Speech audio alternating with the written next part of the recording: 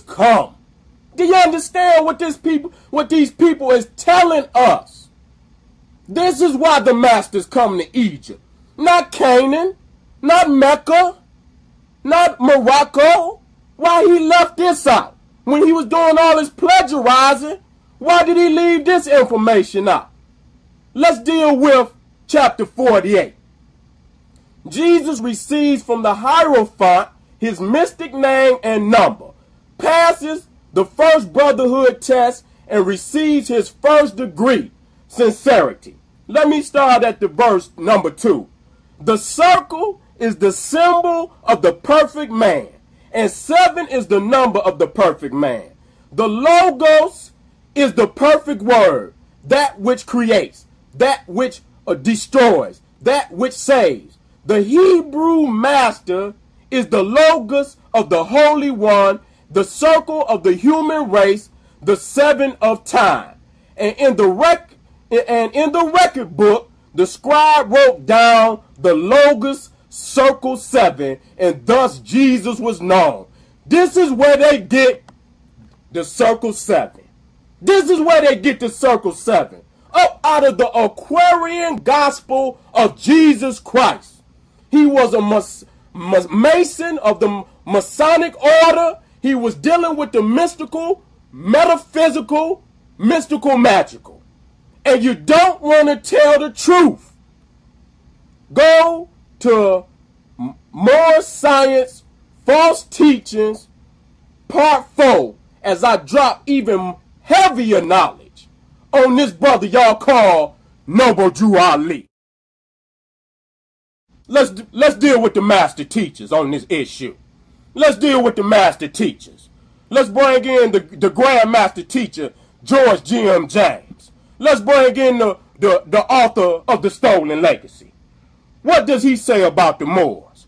He says, during the Persian, Greek, and Roman invasion, large numbers of Egyptians fled not only to the desert and mountain regions, but also to adjacent lands in Africa, Arabia, and Asia Minor, where they lived, and secretly developed the teachings which belonged to their mystery system. In the 8th century AD, in the 8th century AD, as I said earlier in the videos, there was no Moors of consequence doing anything in Africa until the coming of Islam. In the 8th century AD, the Moors, natives of Mauritania in North Africa, invaded Spain and took with them the Egyptian culture which they had preserved. Knowledge in the ancient days was uh, centralized. It belonged to a common parent and system, i.e., the wisdom teachings of the mysteries of Egypt. It's the parent. You can't equate the Moors with Egypt. Egypt is the parent. It preceded the Moors. So you can't say that the Egyptians were Moors. They were not Moors because no one was using that word in reference to African Ethiopian people before the 8th century AD. You find me the writings. You find me the writings where they speak of it.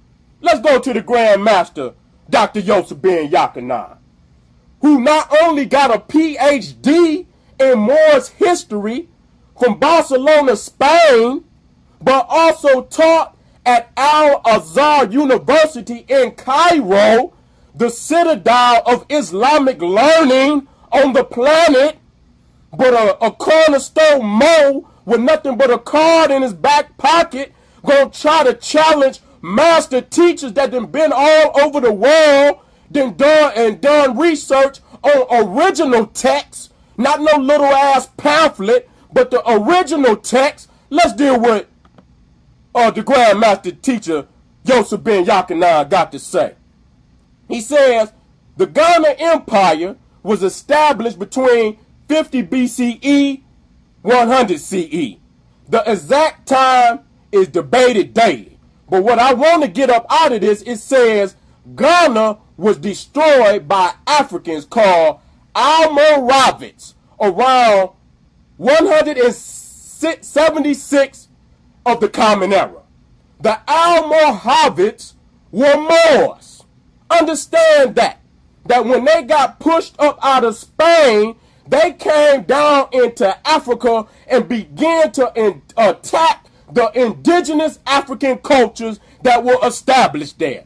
It is the Moors that destroyed Ghana in 176 of the Common Era. Let's go down to number three.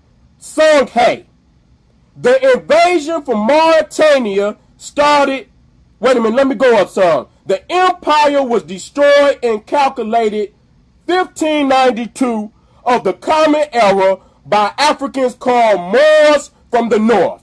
The invasion from Mauritania started in 1582 of the Common Era at the end of Emperor Askia Ishaq II's reign. It lasted for 10 long bitter years of warfare. So it is from the Grand Master Yosef Ben Jochannan. The Moors sacked Ghana and Songhai. This show you that they were nothing but the middle-aged John Janjaweed. They were attacking indigenous African civilizations. And these niggas gonna sit up here talking about Morocco is your nationality. Why? Because you destroying all the other damn nations? There were other nations in Africa besides Morocco. So why you keep saying that Moroccan is our nationality? You got nations like Ghana. They're not Moors, they're Ghanaians. You had the Empire of Songhai, Mali, Benin. You got all of these uh, nations on the west coast of Africa. They're not Moors. Let's deal with the Grand Master Teacher, Dr. John Henrik Clarke, Colum Christopher Columbus in the African Holocaust. After the death of Askia the Great in 1528, the Songhai Empire began to lose its strength and its control over its vast territory.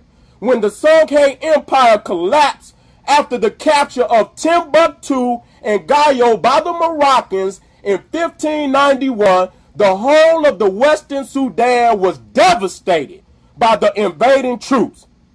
Devastated by the invading troops. Who did it? The Moroccans.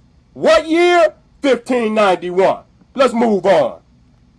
European firearms across the Sahara to attack the once powerful empire of Songhai. The, the army did not reach Timbuktu until 1591. The, proper, the prosperous city of Timbuktu was plundered by the army of freebooters. A state of anarchy prevailed. The University of Sankore, which had stood for over 500 years, was destroyed and the facility exiled to Morocco. Who destroyed Timbuktu? Who destroyed the University of Sankore? The, the Moors. What year? 1591. Let's move on.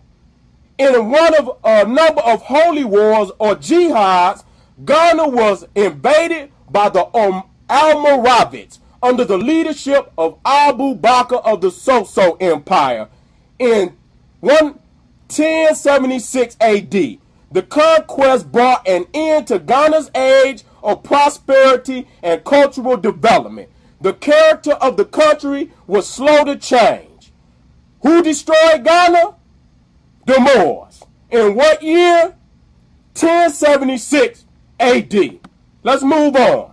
Then when the Arabs and Moors were expelled from Spain, they returned to Africa after being the masters of the Mediterranean for 750 years. They had no sentimental attachment to Africa. They began to prey on nations south of the Sahara, principally the old empire of Songhai. From the Grand Master, Dr. John Henrik Clarke. So now we done heard from George G.M. James, Dr. Yosef Ben Jochannan, Dr. John Henrik Clarke. Now let's move into Ivan Van Sertima, the golden age of the Moor. And in there, we gonna deal with literature from John G. Jackson. The Moors were people who lived in Morocco. That's the reason why, the reason they called it that. The word Moor means black. It means black. And these niggas talk of, that black means death. But yet and still the word Moor itself means black. It meant black people. In ancient times, all Af Africans were called Ethiopians or Cushites. In ancient times, all Africans were called Ethiopians or Cushites. And in the Middle Ages, the Africans were called Moors. In the Middle Ages, the Africans were called Moors. And the word Moor literally means black. So the Moorish people were the black people. In medieval times, the name Moor was not restricted to the inhabitants of Morocco, but it was customary to refer to all Africans as Moors. Now, this is from John G. Jackson. He clearly lets you know that the word Moor means black and it was used during the Middle Ages. It wasn't nothing but another word that the cracker used that meant nigger. That's all it was. It is a middle age word for nigger. It means black. Let's go on. This is from Runoko Rashidi. The Moors, according to the Oxford English Dictionary, are people who are commonly supposed to be black or very dark, and it is synonymous with the word Negro in many contexts. Rashidi and Brunson provides numerous examples of the synonymy of Moors with black during the European Renaissance and early. The word runs like a ripple across a vast pool of languages. The Oxford English Dictionary. Rashidi and Brunson. Runoko Rashidi says the word is synonymous with black during the European Renaissance, the Middle Ages, and the word runs like a ripple across a vast pool of languages. So now we have heard from George G.M. James, Dr. Ben, Dr. Clark, Ivan Van Sertima, and Runoko Rashidi. All of them grandmaster teachers. And a cornerstone mo with nothing but a damn card in his back pocket can't say shit but assalamu alaikum or whatever he can say will try to go up against these grandmaster teachers.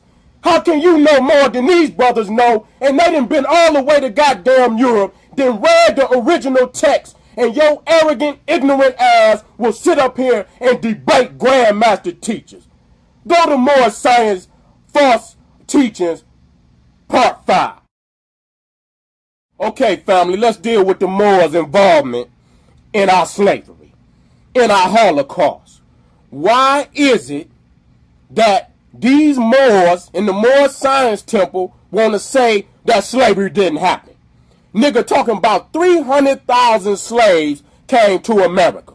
Why is it that these niggas will steal the memory of our ancestors and their Holocaust? You got to ask yourself that very, very serious question that they could take 200 million and dwindle it, down to 300,000 when the documentation and the memory of that Holocaust is on both sides of the ocean in North, Central America, South America, the islands, and the continent of Africa and Europe, all that documentation on the Holocaust of African people, all the slave forts in Africa, and these niggas will come out against our ancestors and say that it did not happen.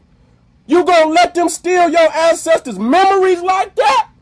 Man, you got to call them niggas out. Why would they take a stance like that? Because they was floating them down boats for them crackers. They was contracting them Moors out to float them down boats. Let's deal with the references. Africa, Mother of Western Civilization by Dr. Yosef Ben Jochannan, who I must say again has a PhD in Moorish history from Barcelona, Spain, also was a professor at Al-Azhar University in Cairo, the citadel of all Islamic learning. Let's deal with the middle of this paragraph. The African Moors, the first to enter Spain, in 711 of the Common Era when, were in fact the last to leave in 1485 of the Common Era. which was only seven short years before an African Moor named Petro Alonso Nino became captain of the flagship Santa Maria, which was the lead ship of the expedition that Cristobal Colon commanded as admiral. The African Moor named Pietro Alonso Nino, the Moor, who became captain of the flagship Santa Maria. When that cracker, low down, wicked beast, Cristobal Colon was on his genocidal rampage, you have Moors that were captain of the ship. Why, why do you think these niggas brag about the fact they were signing treaties with these crackers at the same time our people was in slavery? Ask yourself that question. That's a very serious question that why would they brag about signing treaties with our oppressor, with our murderers? You understand? With the, the, the cracker that's raping our women, our mothers and our, uh, our fo- you know, our foremothers and our sisters and our babies. The same cracker that's raping our women, our babies, and the men, they signing treaties with them. Let's go even further. Let's deal with these two crackers. Mussolini and Leopold of Belgium. Each one of them came in Africa. Mussolini went to Ethiopia, dropped gas all on the Ethiopians, killed over a half a million of our brothers and sisters in Ethiopia. Leopold depopulated the Congo by 30 million. That's a documented fact. Even the crackers will document that. So why is these niggas talking about 300,000? Any which way it go. And when you deal with the Arabs, how many they murdered, how many the cracker murdered, the number is 200 million. No less than that. When these crackers came in and the Uncle Tom niggas that were on their side, you know how you can distinguish them Uncle Tom niggas? They wore the fez. You see they cracker captain, and you see the niggas right beside them wearing that damn fez. If you got the documentary, The Congo, look on the front of that uh, documentary, documentary, The Congo, about Leopold of Belgium, and you'll see the two niggas with the fezes on there with our brothers in the middle while the cracker was shooting them down. You understand what I'm saying? Look at this low life nigga with a fez on, with the crackers, uh, like he from got the British kilt on. This, these is when you can recognize the British, the French, the English, all of them uh, African Uncle Toms, they wore the fez. Here they is. Here they is. These is the army for the crackers. Wearing the fez. When the uh, when when Mussolini came into Africa, the Somalians and the Eritreans, if you get the documentary War in Zion, get that documentary, is live footage. You will see that the Somalians and the Eritreans who worked with Mussolini right here wore the fez. Look at this. The British colonial empire, our allies, the colonies, our allies, the nigga with the fez on. Every time we were attacked by the cracker, the niggas that work with the crackers wore fezes. Here they is. Here they is. Here's the crackers, the niggas that work with the crackers, wearing the fez. We didn't tell these niggas to go put them hats on. You could have did this research. You could have distinguished yourself between our enemies, but you did not. You went and put their damn hats on your goddamn head, and then you put it on us. Say we wrong. No, nigga, you wrong. We got the documented fact. Every time an old Uncle Tom nigga work with them Peckerwoods, he wore the fez. Now let's deal with this that we was over here in America. That it, there was a civilization that existed in America the same height as Egypt, same type of technology as Egypt. Let's deal with this knowledge that been dropped on us. Scientists, oldest American skull found. How old is it? 13,000 years ago. 13,000 years ago. That's as far back as they have been able to go over here. They have not been able to go earlier than 13,000 years ago. BCE, before the Common Era. Let's look at the oldest New World writing found. Ancient civilizations in Mex Mexico developed a writing system as early as 900 BC. New evidence suggests. 900 BC. Let's go into Africa.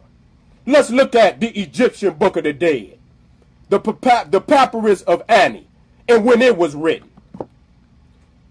In this introduction, the term is intended to include the general body of texts which have reference to the burial of the dead and to the new life in, in the world beyond the grave, and which are known to have existed in revised editions and to have been in use among the Egyptians from about BC 4500 to the early centuries of the Christian era. 4500, that's over three millennium that Africans was producing literature before they was producing it in the Americas. Let's deal with this in the New York Times. 43,000 year old mine, iron ore mine, found in Swaziland, South Africa. 43,000 years ago, we were smelting iron. Do you know how goddamn hot you have to get a damn furnace to smelt iron? And you niggas is talking about uh, what was over here in the Americas? When you drop down in Egypt, the first thing you see is the pyramids climbing in the sky. You ain't got to have nobody talk you into that because the evidence is overwhelming. You have stolen our history. You have stolen our ancestors' Holocaust. You have hidden the fact that you floated them boats with them crackers. You hid the fact that you destroyed Ghana, that you destroyed Songhai, and you was the mid uh, ages Janjaweed committing genocide on our people. You just devastated West Africa to the point where our people could not fight that cracker when he came in. You are responsible, more. You, when they say that Africans sold Africans, they should have been very clear that those Africans were Moors. And that is documented fact. I give praise to John G. Jackson, one of our Grandmaster scholars, whom I got knowledge from to help do this video. George G.M. James, who wrote The Stolen Legacy, who was murdered for his knowledge. I want to give praise and respects to Dr. John Henrik Clarke, who I got knowledge from, who helped me do these videos. Dr. Yosef Ben Jochannan, who I give high praise to, to that helped me do these videos. Dr. Runoko Rashidi, who helped me to, who I got knowledge from to do these videos and the Grandmaster teacher, Dr. Ivan Van Sertima. Now, if you know Cornerstone Moles, think you can go up against all them Grandmaster teachers and they wrong and you right, that shows the ignorance of your arrogance. Arm yourself with knowledge. Bang on that beast daily. Liberation through education. Peace. Here's live footage from the Ethiopian-Italian War where Mussolini come down into Ethiopia to commit genocide on our people, killing over a half a million of our people, and the low-life the nigger traitor that worked right along with Mussolini, you can easily identify him with the feds. You see him right there with the tassels. You see him right there with the crackers armament. While our brothers and sisters only had uh, spears and, uh, you know, not highly mechanized artillery. And these niggas know that is shooting highly mechanized armaments at their own brothers and sisters a part of the genocidal mass murder of our people in Ethiopia.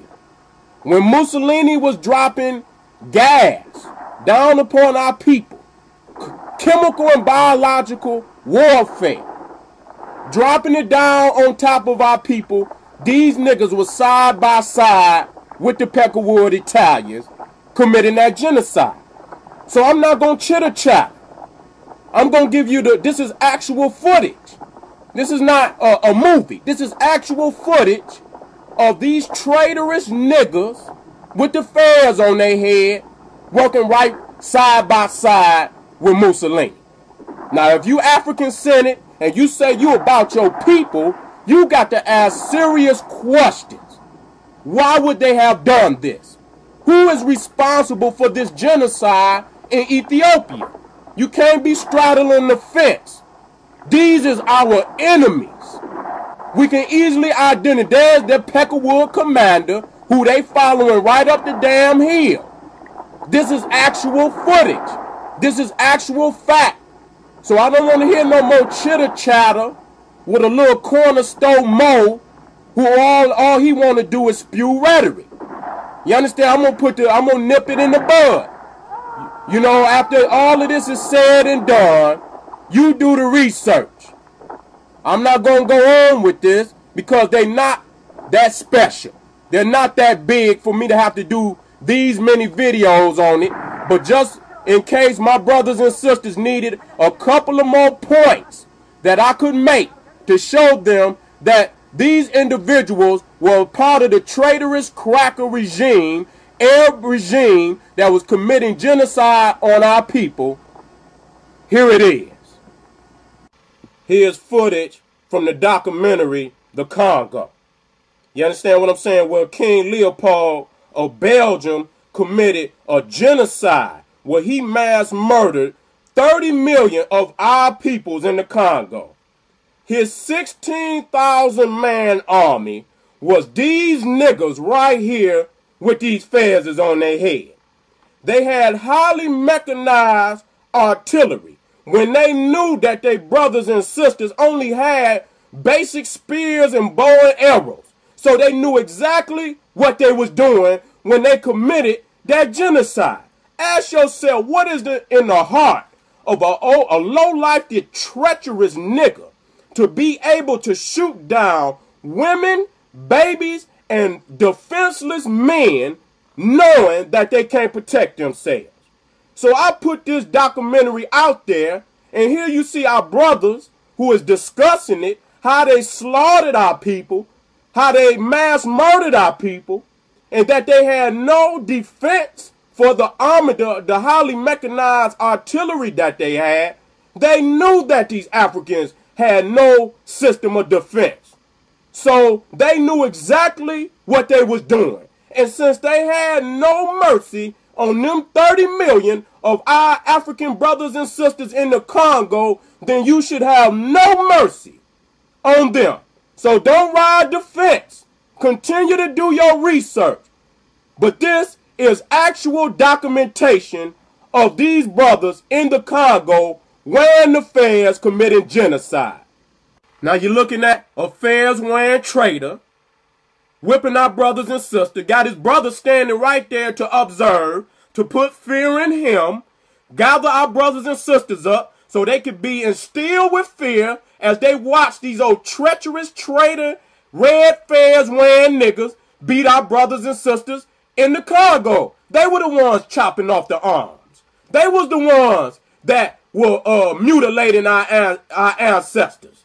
They were the ones, they would burn this tree sap and let it pour down on the, bo the bodies of our brothers and sisters to commit this genocide on our people in the Congo. Now what you about to witness is how these red fairs wearing traitorous niggas lining our brothers and sisters up for the peckerwood so that he can murder three of them at a time.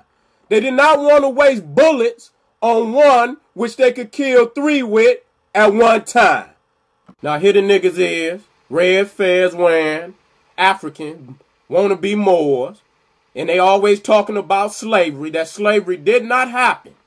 That we're not just talking about the slaves that were brought to the Americas. We also talking about the